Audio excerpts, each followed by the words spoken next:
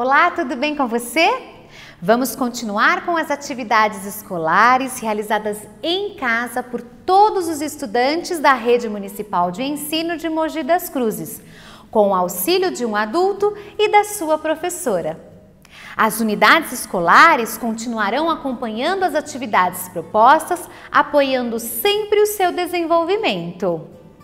Todas as atividades feitas deverão ser entregues ao seu professor assim que voltarmos à escola para validar os seus estudos.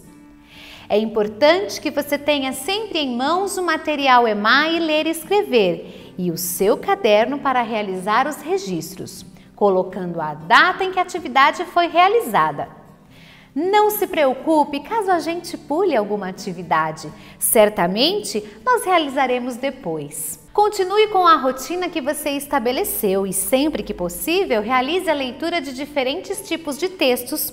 Procure escrever espontaneamente sobre o que você está passando, sentindo, fazendo de repente um diário. Pesquise sobre os assuntos que você ficou curioso e compartilhe com seus amigos e familiares. Você também pode realizar desenhos, dançar, cantar e brincar dentro de casa.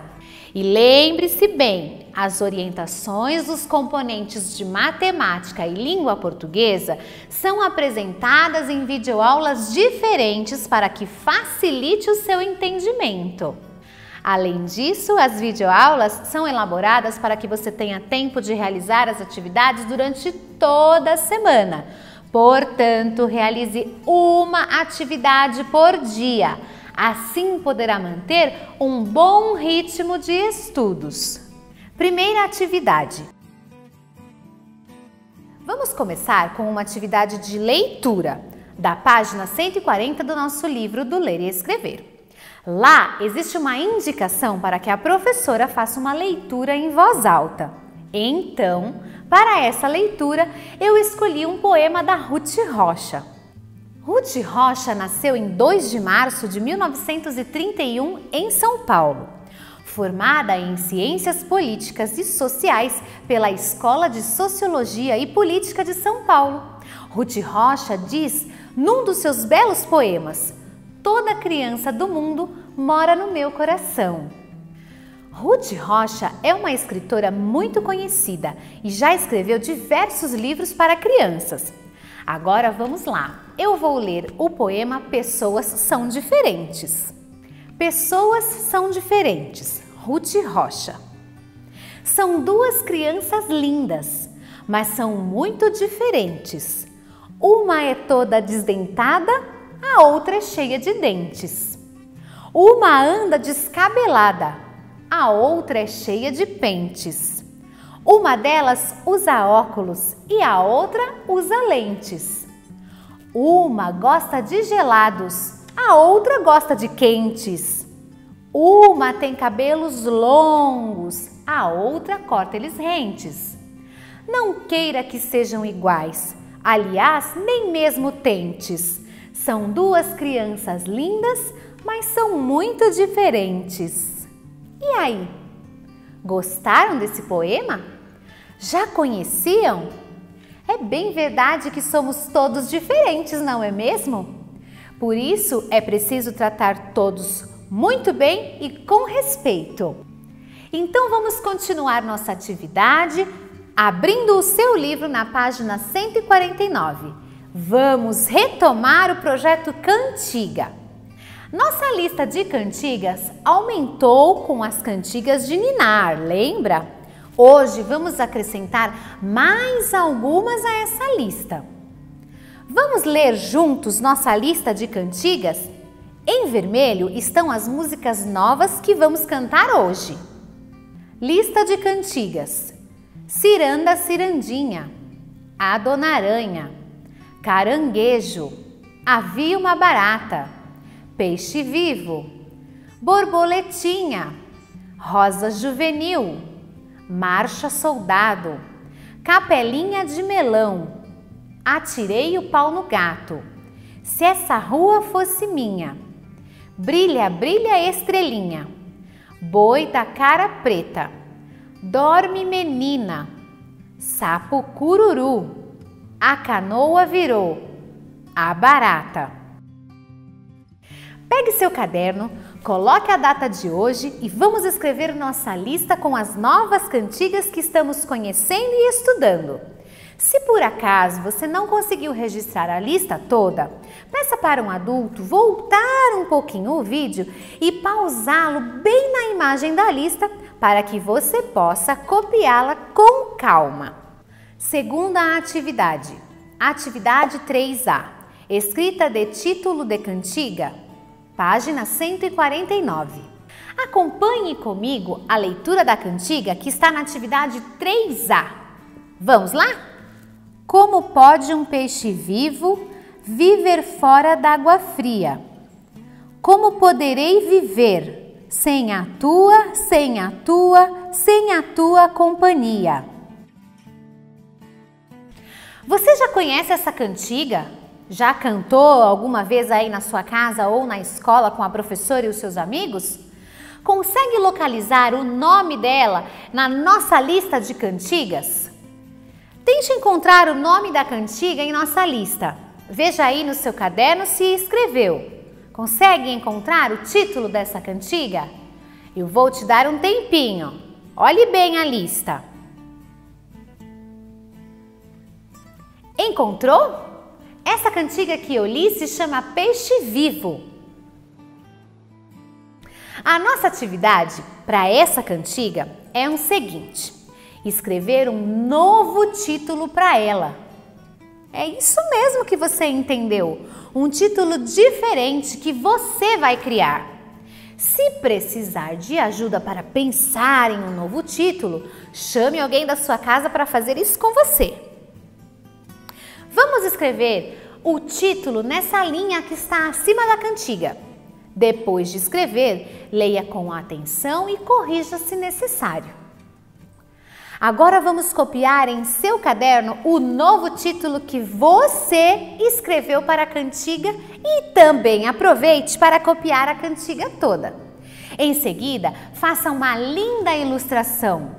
Lembre-se que a ilustração é um desenho que precisa combinar com a letra da música. Essa será uma das cantigas do livro que você fará com a sua professora e a sua turma quando as aulas retornarem. Terceira atividade, atividade 3B. Completar lacunas de uma cantiga, páginas 149 e 150. Vamos ler a letra da cantiga Sapo Cururu? Vamos lá. Sapo Cururu.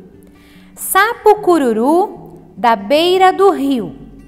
Quando o sapo canta, ó maninha, é que está com frio.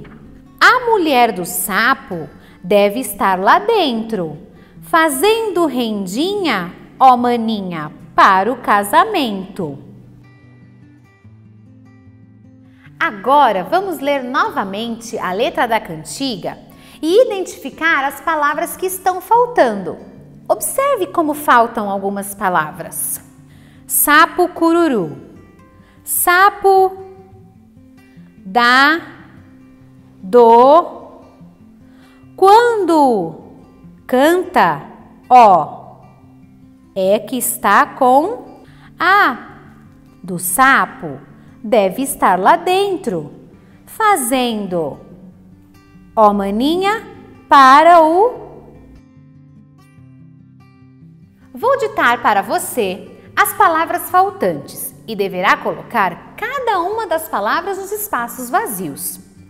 Preste atenção para colocar a palavra no lugar correto para que a cantiga fique perfeita para cantarmos. Cururu, beira, rio, sapo, maninha, frio, mulher, rendinha casamento. Se você precisar, você pode voltar um pouquinho o vídeo, pausá-lo, ler a lista das palavras com calma e aí então colocá-las no lugar correto da cantiga. Não precisa fazer correndo, tudo bem, é só voltar um pouquinho e pausar, combinado? Vamos agora realizar a leitura da cantiga Sapo Cururu completa e verificar se não esquecemos nenhuma palavrinha. Sapo Cururu. Sapo Cururu da beira do rio. Quando o sapo canta, ó maninha, é que está com frio. A mulher do sapo deve estar lá dentro, fazendo rendinha, ó maninha, para o casamento. Muito bem! Copie em seu caderno a cantiga Sapo Cururu completa e em seguida faça uma linda ilustração. Lembre-se que a ilustração é um desenho que precisa combinar com a letra da música. Essa também será uma das cantigas do livro que você fará com a sua professora e a sua turma quando as aulas retornarem. Quarta atividade, atividade 3C. Substituição de nomes que aparecem na cantiga. Página 150. Vamos cantar a cantiga A Canoa Virou e escrever o nome de alguém da família nas lacunas. Esta será mais uma cantiga do livro que você montará na escola com a professora.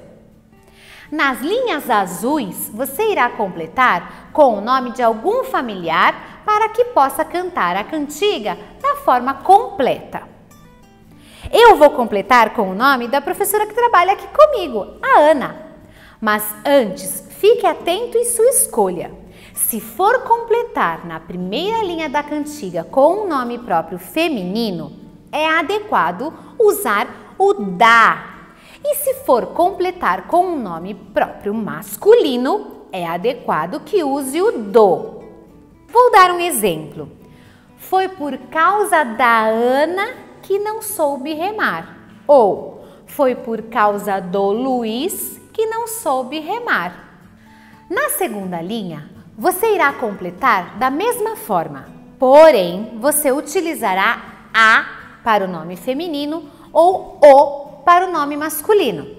Eu vou te explicar. Eu tirava a Ana do fundo do mar ou eu tirava o Luiz do fundo do mar. Então a cantiga ficará assim: A canoa virou a canoa virou, por deixar ela virar, foi por causa da Ana que não soube remar. Se eu fosse um peixinho e soubesse nadar, eu tirava a Ana do fundo do mar.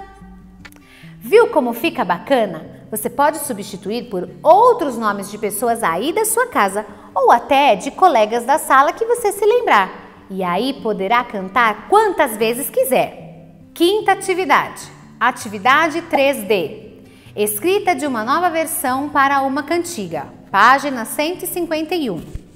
Faremos a escrita coletiva de uma versão para a cantiga A Barata. Eu tenho certeza que todos vocês que estão acompanhando nossas aulas já conhecem e sabem muito bem cantar essa cantiga.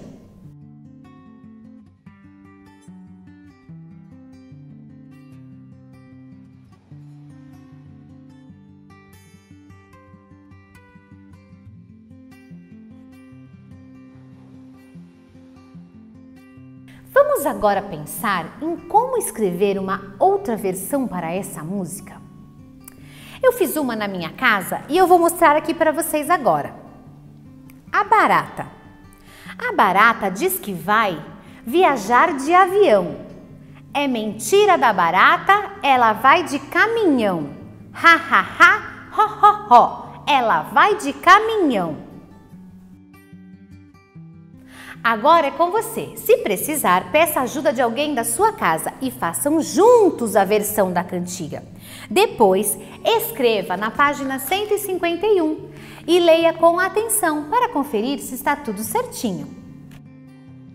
Chegamos ao fim do nosso projeto Cantigas. As etapas 4 e 5 das páginas 152 e 153 do livro serão realizadas lá na escola com a professora e toda a sua turma. Para montar o livro, a professora utilizará essas atividades que você realizou e registrou aí no seu caderno. Portanto, guarde tudo com muito cuidado. E com essa atividade encerramos a semana. Lembre-se, se tiver alguma dúvida, peça para um adulto entrar em contato com o professor de plantão pelos canais de comunicação disponibilizados pela sua escola ou ainda pelo e-mail para fazer em casa se-pmmc.com.br. Tire fotos das suas atividades e poste nas redes sociais utilizando a hashtag Sou Aluno de Mogi. Nós gostaríamos muito de acompanhar a realização das suas atividades. Mas, se caso perderem alguma aula ou esqueceram de assistir de alguma semana, não se preocupe, porque elas continuarão disponíveis na página do Facebook ou pelo canal do YouTube da Secretaria de Educação de Mogi das Cruzes. Dessa forma, você pode assistir as videoaulas quantas vezes quiser e achar necessário. Muito obrigada e até a próxima! Pratique seus conhecimentos de língua portuguesa e matemática no site dos Simulados. Acesse www.simulados.se-pmmc.com.br e entre com o seu RA e a data de nascimento. Aproveite também para aprender inglês junto comigo. Acesse www.migo.se-pmmc.com.br e comece a jogar. Você também acessa com o seu RA e a data de nascimento.